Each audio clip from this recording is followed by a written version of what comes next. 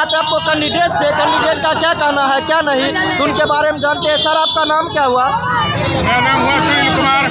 ओ तो देखिए सुनील कुमार जी हमारे साथ जुड़ चुके हैं। तो सुनील कुमार जी बीबीएल न्यूज़ में सबसे पहले आपका स्वागत है। और बीबीएल न्यूज़ के माध्यम से आप अपने क्षेत्र के जनता को क्या कहना चाहेंगे? सबसे पहला प्राथमिकता है विद्यार्थी के लिए कॉलेज शिक्षा की व्यवस्था तटस्थ करना। डॉक्टर की व्यवस्था तटस्थ रखना। और सरकार जब पैसा देती है तो रोड नाला बनता है हमारा काम है कि गाँव में दो चार विवाह भवन बनावे, एक पुस्तकालय का निर्माण करें, एक सभ्य समाज बनावे, और जितना लड़का है, उस सबको उठा करके आसमान तक पहुंचावे, यही हमारा लक्ष्य है। है। यानी कि एक ही शब्द में पूरा खेल ही खत्म कर दिए। और भी हम जो कैंडिडेट ये देखिए, गाड़ी पे आ रहे हैं, हम उनसे भी जानेंगे। देखिए, हम इनसे जानते हैं तो उनसे अभी हम जुड़े हैं। बीबीएल में जुड़े रहिए अभी जुड़े जुड़े थे।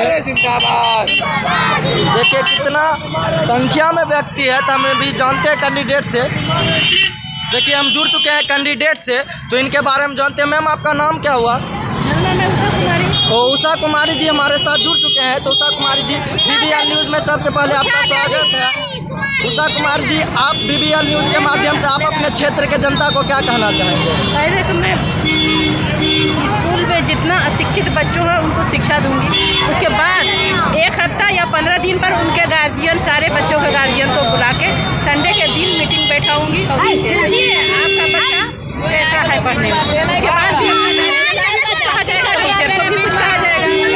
बच्चों उसके बाद जितने गरीब आए हैं उनको भी देखा जाएगा।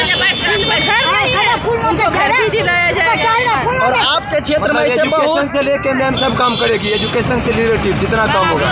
और ऐसे बहुत सारे गरीब नौजवान और नादान बच्चे होंगे जिनके पढ़ने के लिए बुक नहीं लिखने के लिए पेन नहीं उन्हें उन्हें आप दीजिएगा। हाँ मैम देगी और मैम बोली है हमसे बात नहीं तो देखिए अभी कैंडिडेट से जाने अब रहा तो कुछ पब्लिक से जानते सर आपका एजुकेशन व्यवस्था जो दब है, उसको शुरू करेंगे। उषा कुमारी जी, पहला वर्ड दूसरा बात गंजापुर पंचायत में पुस्तकालय होगा, विवाह भवन होगा। चलिए, इसी तरह का न्यूज़ पाने के लिए बीबीएल न्यूज़ तक सब्सक्राइब नहीं किए तो बीबीएल न्यूज़ चैनल को सब्सक्राइब करें और बेल आइकन को प्रेस नहीं किए तो प्लीज़ बेल आइकन को प्रेस कर दें, ताकि कोई भी वीडियो डालूँ तो सबसे पहले आप तक पहुँचे। धन्यवाद।